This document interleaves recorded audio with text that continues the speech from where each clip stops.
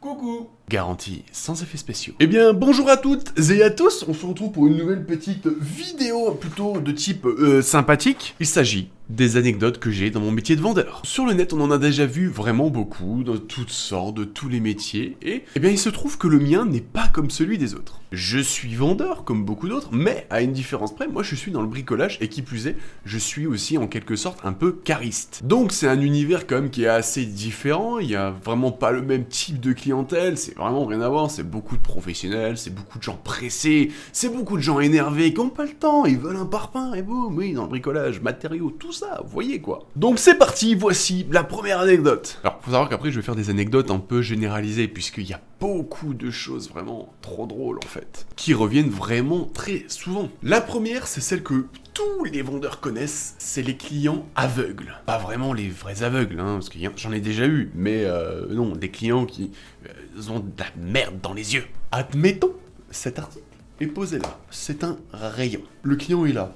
Hmm, suis intéressé par cet article-là. Moi, je passe par là. Bonjour, vous voulez de l'aide? Bonjour monsieur, c'est quoi le prix de ça? À savoir que le prix serait affiché plus ou moins comme ça. Et on nous demande vraiment le prix de l'article. Vraiment dans le genre, euh, je sais pas où il est le prix. Donc c'est des situations qui sont relativement énervantes. En tant que vendeur, tu n'as pas le droit de lui dire va te faire enculer. Tu n'as pas le droit de lui dire vous pourriez aller vous faire enculer genre euh, par là-bas là? Ça non, vous pouvez pas? Non? Et non, on est obligé de lui dire d'arriver à côté comme ça de l'article avec son prix et lui dire bonjour monsieur, cet article là est au prix donc tu lui montres bien que t'es en train de dire en même temps, tu vois, t'es un peu con, t'as pas le choix. 7500 euros En vrai, je l'ai déjà fait, je, je l'ai déjà fait. Que le client me dise c'est quoi le prix de ça, avec le prix juste au-dessus, l'article vaut, je sais pas, 80 centimes, 10 euros, 15 euros, et lui dire c'est 750 euros. Bah non monsieur, c'est pas ce prix-là, vous voyez bien, c'est 1,50€. Et du coup, bah... Bon, qui c'est qui avait vu le prix, hein? Qui c'est qui avait vu le prix? Au revoir.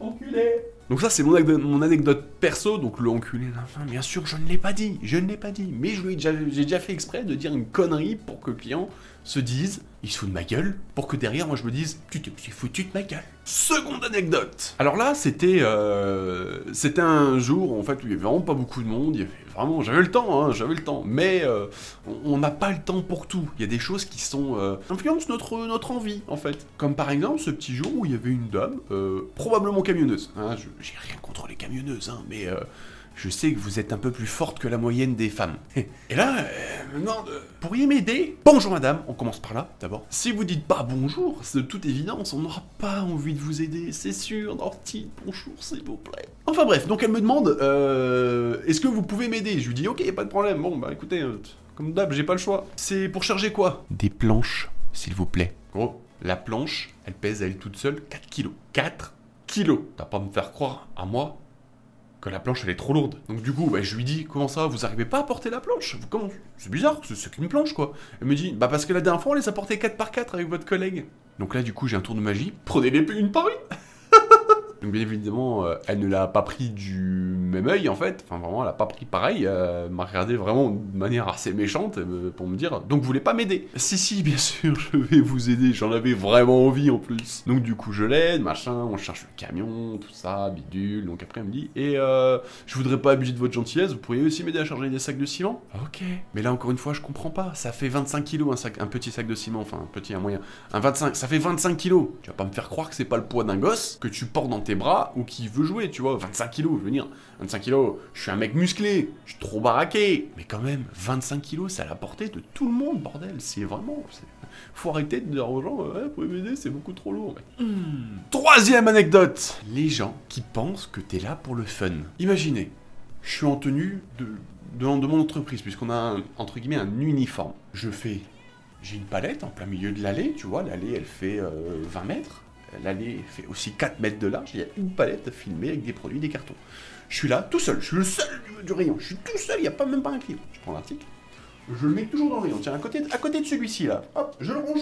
C'est son frère, je le mets à côté. T'as un client qui arrive derrière qui. Bonjour, excusez-moi, vous travaillez ici? Et donc là, je l'ai déjà fait aussi, à lui répondre. Euh, bah non, en fait, je suis juste trop méga fan du magasin, donc je m'habille comme eux et je les aide à ranger dans le rayon, simplement. bah bien sûr que je travaille ici, espèce de con Bon, évidemment, ça non plus, je ne l'ai pas fait. Mais euh, voilà, ça s'est soldé par un, bien évidemment, que je travaille ici. Sinon, je m'habillerai pas comme ça. Encore une fois, genre, genre de client qui se sent offusqué à l'issue, mais c'est pas ma faute. C'est pas ma faute. Faut pas être débile non plus tu vois pas un gars avec la tenue avec en gros écrit dans le dos le nom de l'enseigne, ou même des petits logos par-ci par-là, et lui demander est-ce que vous travaillez là? Allez à la pharmacie, vite, vite Ensuite, on a les clients qui sont du type euh, toujours aveugles, voilà, c'est des clients encore aveugles, qui te disent bonjour, excusez-moi, euh, je cherche ça. Chose à savoir, elle te le demande à l'entrée du magasin, vraiment à l'entrée. C'est-à-dire qu'elle n'est pas encore rentrée pour voir un peu les rayons. Elle n'est pas encore allée. Ça veut donc dire qu'elle n'a pas vraiment cherché. Donc là, bon bah t'as pas, t'as pas d'autre choix en fait que de lui dire bon bah c'est là-bas. Mais euh, après euh, intérieurement tu te dis mais nique ta mère. T'as pas cherché, pas me dire ça, faut pas mentir, c'est pas bien. Donc bon, bah voilà, ça se solde généralement par aucune réponse des vendeurs, parce que bon, pour, pour si peu, c'est pas grave, il y a pire. Mais c'est énervant, c'était à répétition. Ensuite, on passe à une nouvelle catégorie de clients. Petite anecdote, mais alors vraiment sympa. Là, c'est les clients en fait, donc euh, tu travailles, machin, t'es en train de, bosser, voilà, t'es es heureux en plus, t'es arrivé le matin, tu chantais, il y a de la bonne musique, t'es content, il y a, des gens, tout le monde est gentil, machin. Et là, tout à coup, surgit de nulle part le client relou, le client, the best of the year. Tu sais pas pourquoi, il est pas content, mais il passe à côté de toi et il te fait, il, déballe ton sac, il te déballe tout. Et là il te dit, euh, enfin il t'interpelle déjà, il te regarde même pas dans les yeux, il te le dit à côté, en fait vraiment dans l'espérance que tu entendes. Et bah forcément t'entends comme nous on est équipé d'oreilles, forcément bon bah on entend, pas des oreilles qui font ça non plus, enfin des fois si, mais bon. Donc ce client mécontent parce qu'il n'a pas trouvé sa taille de vis appropriée. Il passe à côté de toi pour, pour dire à haute voix Euh, je suis pas. C'est pas bien ici, euh, chérie, on reviendra pas, ils ont, ils ont rien dans ce magasin. Euh, non, mais vraiment, euh, c'est nul à chier. Viens, on s'en va. laisse le gadget dans le rayon, on s'en fout, on rentre à la maison. C'est nul ici. Bah, qu'est-ce que vous voulez que je vous dise? Effectivement, on n'a pas tout. On n'a pas tout. Tous les magasins ne peuvent pas tout avoir. Sinon, bah, il y aurait une seule enseigne dans le monde qui vendrait de tout. Voilà. Quand tu irais acheter sa, ta salade dans le rayon d'à côté, ben, je sais pas, t'aurais les turbos de voiture. Chose à savoir, ce soir-là, donc je terminais, euh, je faisais la fermeture du magasin et je faisais l'ouverture le lendemain. On ouvre à 7h, mais qui je vois arriver Le même client qui était pas content. Je lui ai rien dit. Ce client-là, je ne lui ai rien dit. Je l'ai regardé, il m'a regardé. Et euh, il a très bien compris pourquoi moi je le regardais. Mais moi, j'ai compris pourquoi lui me regardait pas. On va rester dans la catégorie euh, relou. Je vais vous raconter une autre anecdote. Là, par contre, tout ça euh, légèrement chauffé. En fait, je vais pas forcément bien le raconter, mais ce jour-là, moi, j'avais ma collègue qui était en caisse à ce moment-là, qui vraiment qui peinait à me calmer parce que là, il y a des fois, je m'énerve rarement dans mon travail, mais il y a des fois, c'est impossible de rester calme. Tu ne peux pas. Tu ne peux pas parce que le client, il te pousse à bout et vraiment, il insiste tellement que euh, à la fin, voilà, t'es obligé de péter un plomb. Ça commence par, en fait, je suis simplement, moi, au niveau de ma caisse euh, de, mon bâti, et donc je suis en train de, résoudre des petits problèmes par-ci par-là, j'imprime des prix, je, voilà, je fais ce genre de choses que n'importe quel vendeur fait. Et là, il y a un client qui vient avec quatre pavés dans les mains. Des petits pavés, vous savez, auto, euh, autobloquants qu'on met au sol pour faire une cour ou ce que vous voulez. Faut savoir que nous, dans notre enseigne, on les vend qu'au mètre carré. Les, euh, les pavés, c'est tout, c'est notre unité de mesure, on vend le mètre carré. Le mètre carré est défini par tant de pavés. Donc tu ne peux pas en prendre moins. Tu peux pas en prendre une fois et demi ou 0,5 fois, tu peux en prendre que un. Donc euh, c'est-à-dire, c'était des pavés, il fallait en prendre 44 pour avoir un mètre carré. Et c'était une dizaine d'euros. Ça va, c'est pas excessif. Donc le gars, il vient avec 4, 4 pavés dans les mains. Il n'en a que 4. Il vient me voir. Bonjour, je voudrais acheter ça. Eh non, monsieur, vous ne pouvez pas. Nous ne les vendons qu'au mètre carré. Ah, mais j'en veux que 4, moi. Ben non. Oh, Bon, non, non, je suis désolé, je ne peux pas, c'est comme ça, on ne les vend qu'au mètre carré, donc c'est-à-dire c'est 44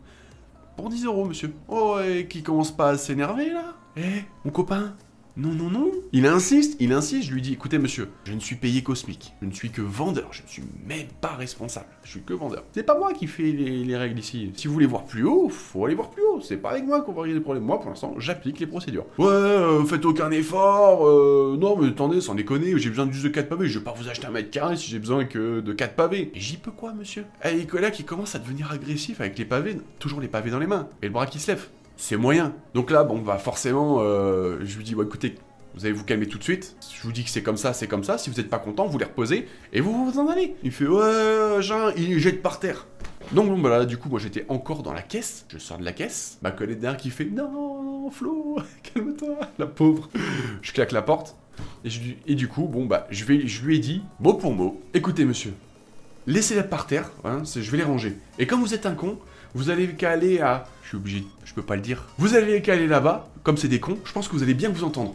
Au revoir. Et donc, vraiment, je, je l'invite à sortir. Évidemment, je sais que ça ne se fait pas, pas pour un vendeur. Mais euh, il y a des fois, comme ça, on tilt, on tilt, et tu peux pas garder ton calme, c'est impossible. Donc du coup, j'invite à se barrer, et euh, bah, il se barre. Euh, oh, je le vois passer un coup de fil dans sa voiture, je lui dis, c'est bien, c'est bien, vas-y, passe un coup de fil, m'en fous. Bon, en vrai, j'ai encore beaucoup d'anecdotes assez, assez sympas. là, j'ai justement, note sur une petite feuille, en fait, les, trucs marrants qui m'arrivent, machin, et j'en ai encore quelques-unes. J'en ai encore quelques-unes. Mais je me dis que ça va faire un peu long pour une vidéo d'un youtubeur de 4000 abonnés. Bon, bah, on, va, on, va, va arrêter là, on va se calmer. Hein. Si par contre, vous en voulez un deuxième épisode, n'hésitez pas à le mettre en commentaire. Hein me faire savoir simplement que la vidéo vous a plu, machin. N'oubliez pas le petit like. Si vous tombez sur cette vidéo par hasard, n'oubliez pas aussi de vous abonner à la chaîne d'Overdose. L'administration et moi-même, nous vous serons tout à fait gré. Je sais pas vraiment si ça veut dire quelque chose, mais ma voix grave semble tout à fait naturelle. Nous sommes donc partis pour vous dire à bientôt pour une nouvelle vidéo. C'était Overdose. Bisous.